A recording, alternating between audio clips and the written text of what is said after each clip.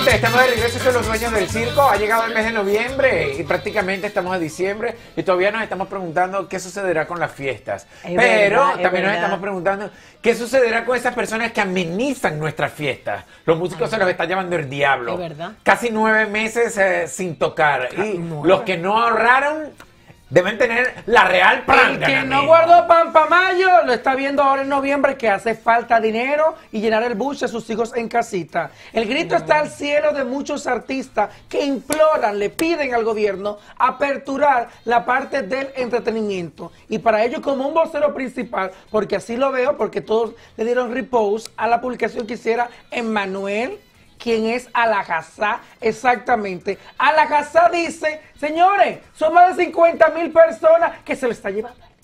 Pero Toxicro dijo lo mismo y no lo invitaron a la Hazá para el Palacio. Es verdad. En el batimento yo no lo vi. Pero vamos, vamos a ver cuál es la propuesta o qué quiere decirle al país y al gobierno. Man- Señores, yo voy a tomar la iniciativa porque yo no puedo callar más. O sea, ¿qué va a pasar con nosotros los artistas, con los músicos? O sea, el medio artístico, habemos más de 50 mil personas que dependemos del medio artístico. O sea, no entiendo por qué a nosotros nos paran así de esa manera. Si normalmente de día todo el mundo está así, todo el mundo, los carguas llenos jugando billar, el metro está lleno, la guagua de conchos llenos, los carros conchos llenos, el supermercado lleno, todo, todo el mundo funciona. Entonces, ¿por qué con nosotros se está tomando eh, eh, esa, esa iniciativa así como de cerrarnos la fiesta? Si es una fiesta privada, una fiesta privada usted la puede hacer en su casa, si son su misma familia. O sea, los músicos no se ligan con la gente, pero dime del día, en el día, que un colmadón está abierto allí lleno de gente en una esquina. O, sea, ¿cuál es el sentido? No, no entiendo. Alguien que me explique, por favor, porque yo no, no estoy entendiendo, no sé si estoy mal o estoy bien. Pero no estamos pensando bien, creo que estamos mal asesorados. Pero no lo veo bien eso, que a nosotros nos paren. O sea, no veo el motivo. Nosotros necesitamos trabajar, señores. Nosotros, ustedes tienen que buscar una solución a nosotros. Porque de qué vive un músico, de qué vive un músico, entonces ese músico tiene familia, ese músico paga renta, paga luz, paga teléfono. O sea, ¿cómo, cómo vamos a arreglar esta situación? Por favor, ¿cómo que lo vamos a hacer? No estamos como pensando bien. Ahora van y le desbaratan la fiesta cuando, cuando están haciendo algo privado. Ahora entonces la gente va a tener miedo de contratarnos porque piensan que también eh, le, pueden desbaratar su fiesta.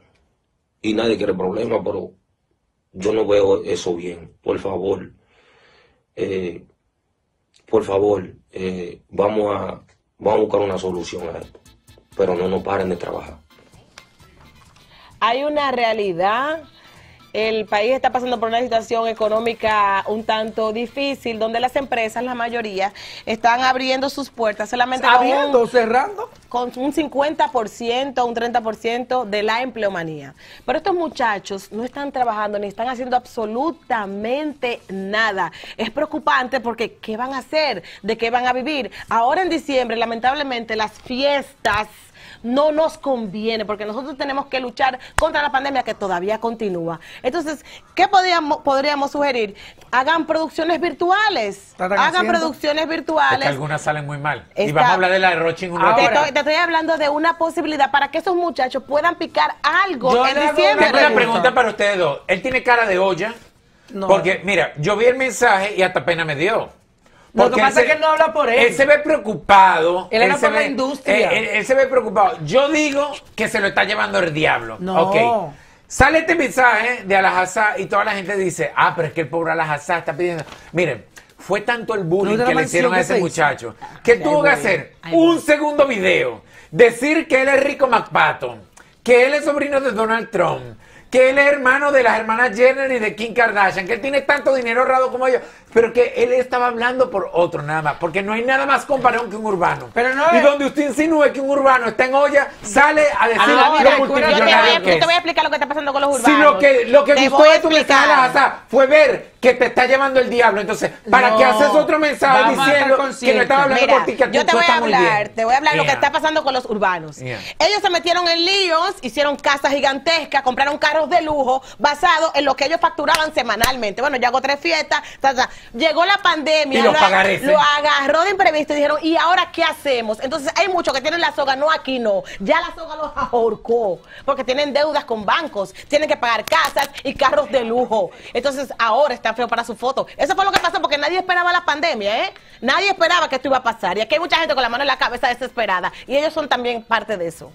Mira, vamos a ver entonces la respuesta de Alagasa a la pregunta si que está en hoyo o qué. Olla. Didi.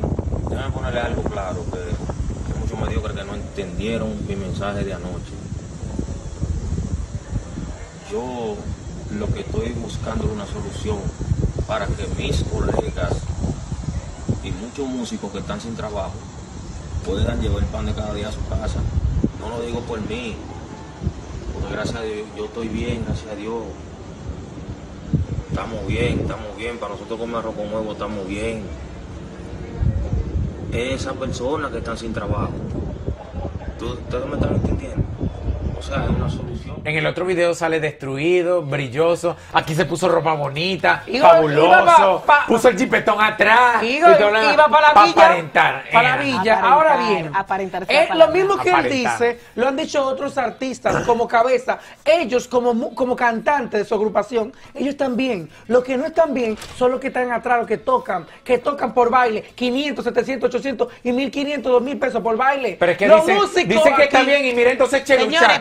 Uno pensaba que estaba muy bien y tiene que arriesgarse a ir a fiestas clandestinas. Ahora, entonces ahora. el artista tampoco es que José está bien. no hay fortuna, no hay fortuna que aguante que No. tú te sientes a comértela sin inyectar capital. Es verdad. Saca, No. saca, Ahora saca. yo tengo otra pregunta. Para la Hazá, para eh, Toxicro y para todo el que fue al palacio.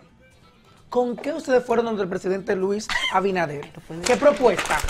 ¿Qué plan le llevaron? ¿Qué plan le llevaron? Ay, no, ¿Qué no. plan? Cuando se reunieron en casa del insuperable, ¿qué plan le entregaron a Engelbert Landolfi y al viceministro de Cultura, al señor Boris Cepeda? ¿Qué plan? Porque hay que tener un plan Ay. de raciocinio para que entre en función.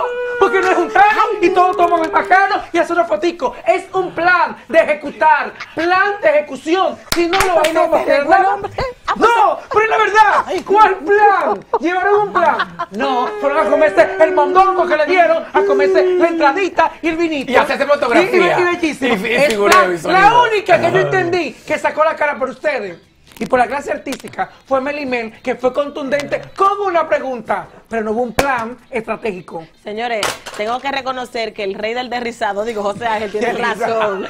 tiene razón en su planteamiento. Ellos tuvieron la oportunidad de ir donde el excelentísimo señor presidente de la República y debieron de ir con un plan, Pero una no, tú propuesta. tú viste a es Silvio verdad, Mora es con un, un regalo al presidente. ¿Qué regalo necesita el presidente? ¿Qué regalo necesita? Llévele el plan estratégico al presidente. ¿Ustedes no vieron eso? Silvio Mora presente al presidente. ¿Qué le importa al presidente? Tu presente.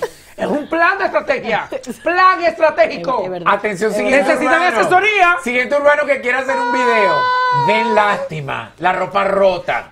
Porque si usan sus mejores ropas, eso no va a funcionar. No lo hagan dentro de su vehículo caro, ni lujoso, ni la maldita mansión fabulosa atrás. No, no, no. Tienen que demostrar que hay olla para que se apiaden de ustedes. Esa es la técnica, muchachos. No, como Yeah. dice José Ángel, aprovechar que fueron donde el presidente y decirle y proponerle. Porque-. Ahora, eso es